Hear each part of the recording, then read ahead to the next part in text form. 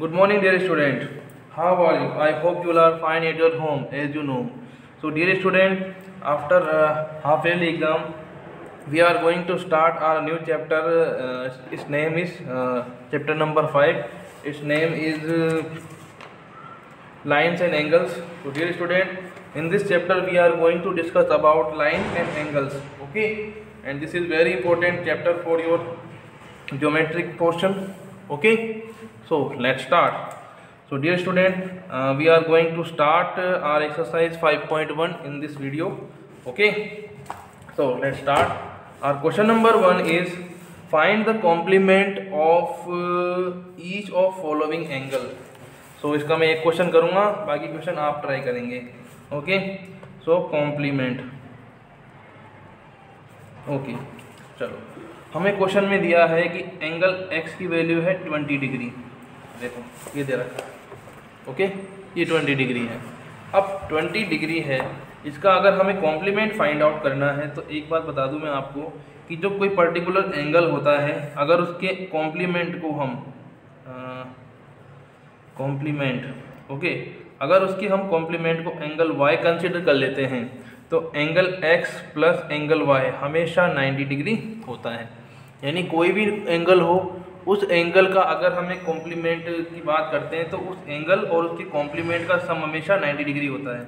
Okay तो आप देखो ये angle y equal to ninety degree ये हमें हमेशा लर्न करना है कि दो कॉम्प्लीमेंट एंगल को अगर हम आपस में ऐड करते हैं तो उनका सम हमेशा 90 डिग्री होता है। तो आप देखो एंगल x की वैल्यू तो हमारे पास 20 डिग्री है plus angle y equal to ninety degree angle y equal to ninety अभी इसको 20 को तो शिफ्ट कर देंगे। Minus twenty, angle y equal to seventy degree. This is the complementary angle of this angle यानी ये दोनों एंगल आपस में क्या है? कॉम्प्लीमेंट एंगल है। Okay so dear student try the remaining question of question number one okay अब हम बात करते हैं 105 का सप्लीमेंट्री एंगल फाइंड आउट करना है हमारे क्वेश्चन नंबर टू में सप्लीमेंट फाइंड आउट करना है, ठीक है? तो सप्लीमेंट की बात करते हैं, सप्लीमेंट एंगल वो होते हैं, ठीक है, जिनका सम आपस में क्या होता है? 120 डिग्री, यानी एंगल एक्स और एंगल वाई, इन दोनों का सम क्या होना चाहिए? 180 डिग्री होना चाहिए। This is the very necessary condition okay तो अब हमें अगर angle zero one zero five का complement sorry supplementary angle find out करना है। तो आप क्या करेंगे? लुक्स लाइक कॉम्प्लीमेंट्री एंगल उनको शिफ्टिंग कर देंगे। तो angle Y is equal to one eight zero minus one zero five तो एंगल वाई इक्वल टू चलो सोचो डियर स्टूडेंट क्या आंसर आएगा इसका? Okay this is seventy five degree okay one zero sorry one eighty में से one zero five को हम सपरेट कर देंगे and we will get the our answer okay चलो, अब हम बात करते हैं क्वेश्चन नंबर थ्री की। तो dear student try the remaining question okay अब हम बात करते हैं identify the following pair are the complementary and which are the supplementary तो हमें ये बताना है कि कौन कौन से एंगल आपस में कॉम्प्लीमेंट्री एंगल हैं और कौन कौन से एंगल आपस में सप्लीमेंट्री एंगल हैं। ओके तो देखते हैं, कुछ नहीं करना, हमें एंगल्स को दोनों को प्लस कर देना है। ओके?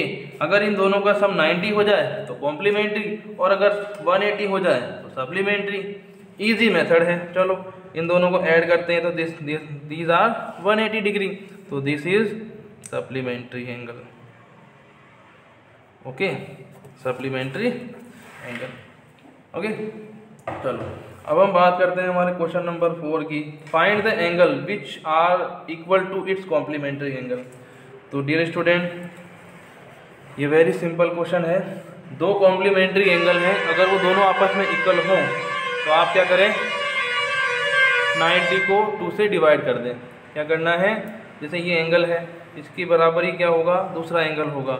और इन दोनों का सम 90 डिग्री हो जाएगा। मीन्स हमसे कहा ना कॉम्प्लीमेंट्री एंगल तो आप क्या करेंगे?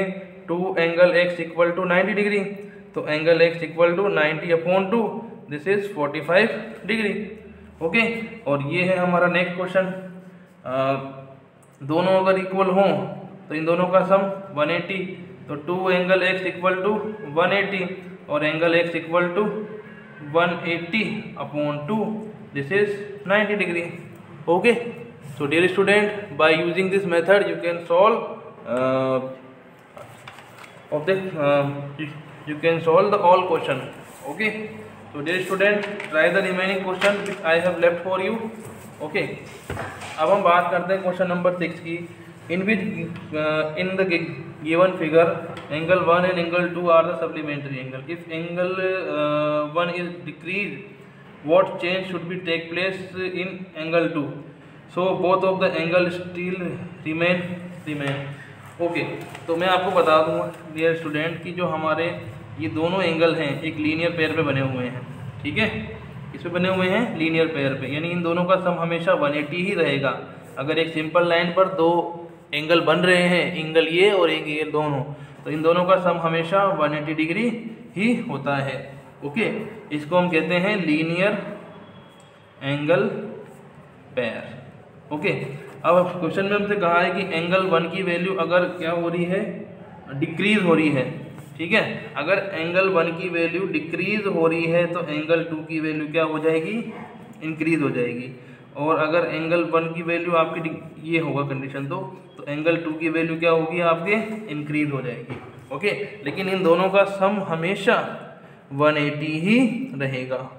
ओके तो इसको कैसे लैंग्वेज में बना के लिखना है? ये मैंने आपको पीडीएफ में सेंड कर दिया है। Okay now let's do the next question question number seven question number seven में क्या दिया दिया स्टूडेंट हमें?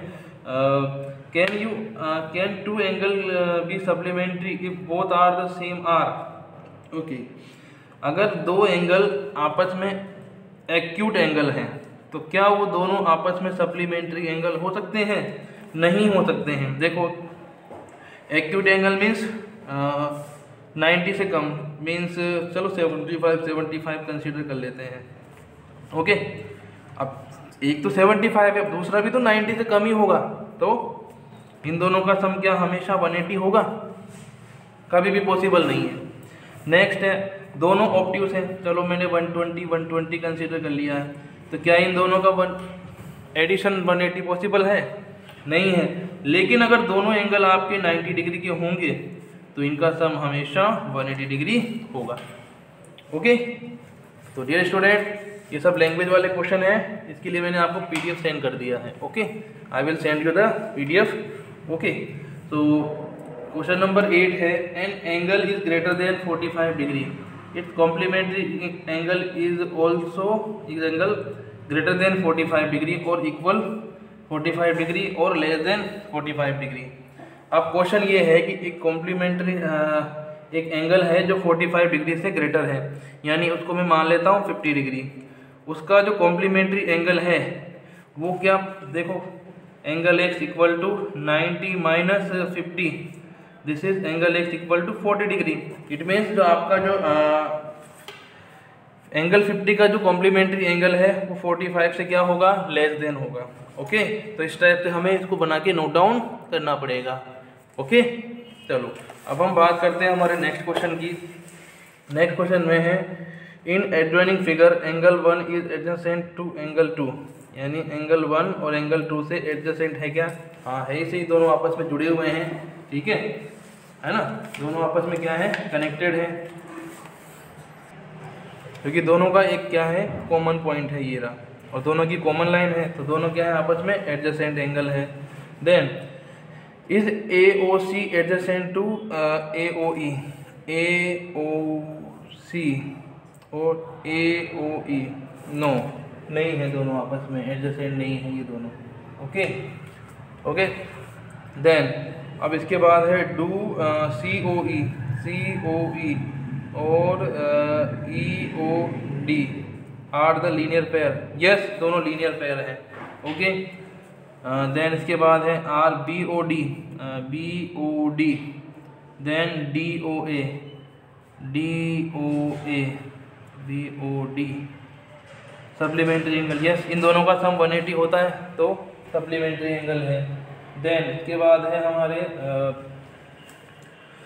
angle one is the vertex opposite to angle four यानी हाँ बिल्कुल अपोजिट एंगल है वर्टिकली अपोजिट एंगल है एंगल फोर देखो, ये इसका माउथ इधर ओपन हो रहा है, इसका माउथ इधर ओपन हो रहा है, यानी एक दूसरे का क्या है? अपोजिट है।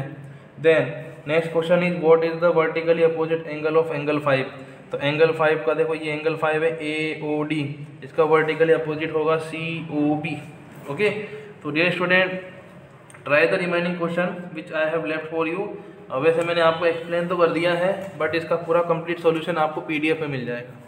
ओके? चलो, अब हम बात करते हैं क्वेश्चन नंबर टेन की। क्वेश्चन नंबर टेन में हमें वर्टिकली अपोजिट एंगल शो करना है। देखो वर्टिकली अपोजिट एंगल तो है आपका एंगल फोर और एंगल वन एंगल फाइव और थ्री और टू दोनों क्या है आपस में वर्टिकली अपोजिट एंगल है। ओके? तो इस टाइप से आप इसको कंप्लीट कर लेना। देन हम बात करते हैं लीनियर पेयर तो ये दोनों आपस में लीनियर पेयर हैं, और ये दोनों भी लीनियर पेयर हैं। ये तीनों लीनियर पेयर हैं, ये तीनों लीनियर पेयर हैं ओके तो dear student try the remaining question and I will send you the complete F of this exercise also thank you all of you good bye